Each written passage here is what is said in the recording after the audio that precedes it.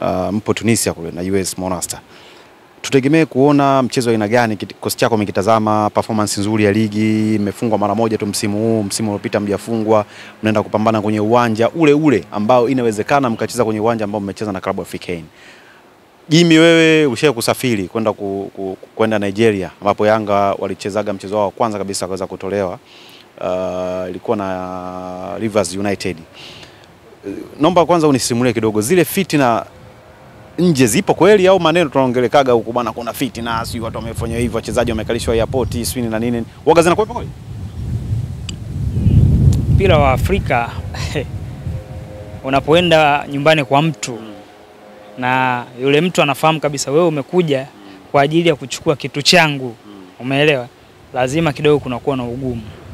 Sasa ugumu ndo unapelekea mazingira tofauti tofauti ya, ya kukufanya wewe ushindwe kutimiza lile lengo. Kwa hiyo tunaposema fitna, watu labda wanaweza kaichukua kwa mtazamo tofauti sana, lakini ni kwamba kuna mazingira ambayo yanakuwa sio rafiki ya kukufanya wewe uwe comfortable na game, lakini uendane na ile falsafa ya mpira kwamba ni fair play. Kwa hiyo fitna zipo, wala tusikatae, fitna zipo. Kuna fitna ya kucheleweshwa eh, eh, uwanja wa ndege tu kwamba uchelewe kufika hotelini, wachezaji wachelewe kupumzika, kwa pale logistics zinakuwa nyingi, umeelewa eh? Lakini vile vile eh, unaweza ukachelewa kuingia dressing room kwa ajili ya kutengeneza mipango yetu. Kwa mfano sisi tumeenda Nigeria, umeona eh, tulivalia uwanjani kwa sababu tulichelewa kupewa eh, ruhusa ya kuingia kwenye dressing room.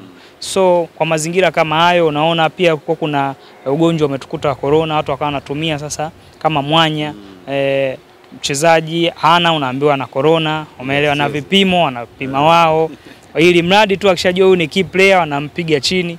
Kwa hiyo mazingira yale ambayo yanakufanya wewe kukugea ugumu usiweze kupata matokeo kirahisi. So unapoenda ugenini lazima ujue kwamba naenda sehemu ambayo mimi natakiwa nikachukue points tatu na yule aliyokuwa nyumbani anaamini yeye ana haki ya kuchukua points tatu. Kwa lazima nakutana na mazingira ya ugumu.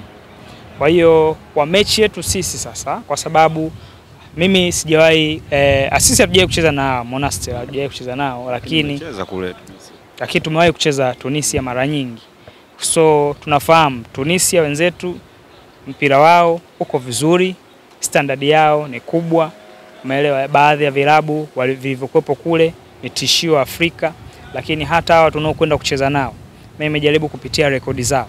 Sio wepesi kama ambavyo watu wanavyotafsiri. Sio wepesi kwa sababu kushika nafasi ya pili kwenye group kwa tofauti ya magoli sio jambo dogo kwenye ligi ya Tunisia, lakini ukichukua ile, ile overall mm, ya timu zote kwenye ligi wao wanashika nafasi ya nne, wa kwanza na pointi 29, yeye ana pointi 26, tofauti ya pointi tatu, na kutajia Tunisia yenye timu ambazo wewe unazifahamu zile magwiji, lakini wao wana tofauti ya pointi tatu na anayeongoza ligi wana eh, kikosi ambacho sio rahisi kuruhusu goli na ndio timu ambayo imefungwa uh, magoli machache kwenye ligi ya Tunisia, kwa maana una ukuta mzuri. So tunakwenda kucheza na timu ambayo ukiitazama tu kwa, kwa kwenye makaratasi unaona ni timu nzuri. Sasa wao hofu yao kubwa itakuja kwenye rekodi ya Yanga, kwa maana wakifuatilia rekodi kama ambavyo sisi tumefuatilia ya kwao watagundua kwamba Yanga imewahi kuchukua ubingwa msimu uliopita pasipo kufungwa. Watagundua kwamba Yanga msimu huu inaongoza kwa tofauti ya pointi sita na mtu wa pili. Itagundua kwamba Yanga pamoja kwamba Simba ameji, amejipapatua kwenye mechi za kimataifa kwa misimu kadhaa iliyopita na kufika mbali, lakini wanashangaa kumwona Simba huyu ambao wao wameona alikuwa anafika mbali kwenye, kwenye michuano ya kimataifa anashindwa kumfunga Yanga, umeelewa? Kwa hiyo nayo wanaiweka into a consideration kwamba inawezekana wa Yanga sio kawaida kama ninavyofikiria, lakini vivyo tumecheza kwenye eh, kombe eh, kwenye klabu bingwa wameona jinsi ambavyo tumecheza, wameona magoli ambayo tulikuwa tukifunga, wameona Maele namna ambavyo alivyokuwa hatari, si umeelewa? Kwa hiyo lazima wataingia hiyo hofu. Sasa ile hofu itakwenda kutusaidia sisi kwa sababu pamoja kwamba tumesajili wachezaji waliokuwa wazuri msimu huu, lakini bado unahitaji eh, kujitoa zaidi ili uweze kupata matokeo. Sasa michuano hii mara nyingi inataka hesabu. Hesabu hizo unazichezaje? Either uzicheze ugenini au uamue kuzicheza nyumbani.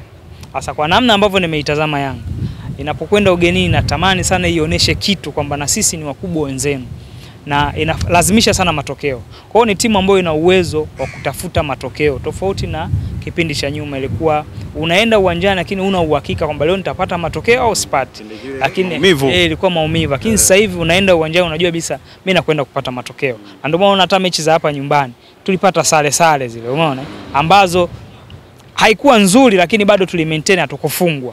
Kwa hiyo sasa yale mapungufu ambayo yalijitokeza na haya marekebisho ambayo tumefanya, na uhakika sasa tunakwenda kufanya vizuri. Watu wanaamini ni lazima tupate points tatu. No, hesabu kule kipata hata pointi moja, ukirudi hapa nyumbani ukapata points tatu, unakuwa na nne, unatafuta zako point sita tu ili uweze kuingia zako robo fainali. Okay. Cha mwisho uh, nini hasa ambacho uh, unawaambia mashabiki wenzako Young Africans ikiwa jana tumeona uh, msemaji wa Yanga Alikamwe ameanza mapema tu uh, kuhusiana na promo kuelekea mechi ya TP. Hii uh, haiwezi kawa vuruga kwa sababu wanasemaga lazima uangalie hapa kabla hujaenda kule. Lakini nyewe mmeanza kule afu hapa mjaangalia. No, mimi nimewaelewa kwamba shabiki kama shabiki unajiandaje na mechi ambayo ni ya ugenini, si umeelewa? Yanga imesafiri imekwenda Tunisia, we uendi. Kama uendi, jiandae na mechi inayokuja ambayo ni ya nyumbani.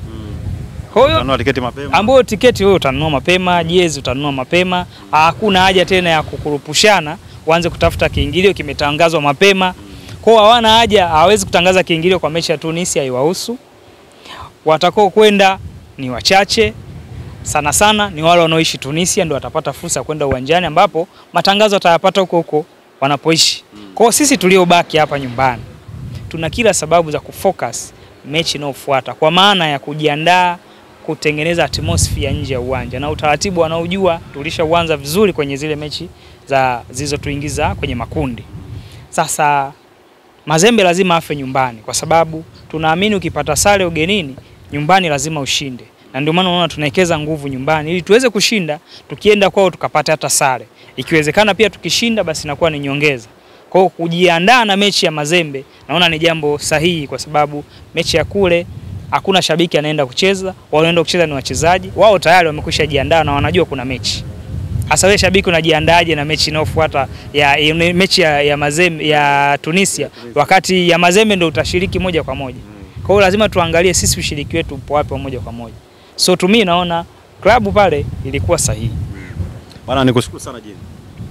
Mimi nashukuru sana na tunaiombea timu yetu iweze kufanya vizuri, kwa sababu kwa kundi nilivyolitazama, tuna kila nafasi na kila sababu ya kuweza kuvuka kwenda kwenye, kwenye, kwenye stage inayofuata. Ukitazama sisi tu kama ingekuwa tuna uwezo wa kucheza hata makundi haya mawili, yani kundi letu sisi na kundi la wenzetu, basi tunge, zote tungeingia robo kwa kikosi Eh, ambacho tunacho, si umenielewa? Yani kwa tuna uwezo kuingia mmetoka kule tumetoka sawa, lakini timu tulizopangwa nazo sawa zilikuwa kidogo si, si haba, tofauti na hizi timu ambazo amepangwa nazo mwenzetu, si umeelewa? Sasa wewe una, una Horoya Horoya, mimi ataniambia nini? Kuna Raja. Sasa Raja na mimi ndo ningevuka si umenielewa? Mimi na Raja ndo tungevuka. Vipers Oloya tungeweka pembeni, sababu yale ni mashindano, timu ishabadilika. Sisi Akikosa eh, Mayele, kuna Aziziki mzee wa faulo atakufunga, kuna akina Shabani watakufunga. Umeelewa? Tuna wachezaji wengi tumeongeza pale, wana uwezo wa kutupa matokeo. Akina Musonda ndo, ndo michuano yao. Lakini huku pia tulipokuwa shirikisho, tunaona timu ambayo labda inapewa nafasi kubwa kwa sababu ya jina ni Mazembe si umeelewa? Sasa sisi Mazembe tunaamini sasa hivi ameshuka quality yake imeshuka, limebaki aki jina lake alishalitengeneza ni kubwa, umeelewa? Kwa hiyo manake ni Mazembe, kuna Yanga afu kuna Monastir.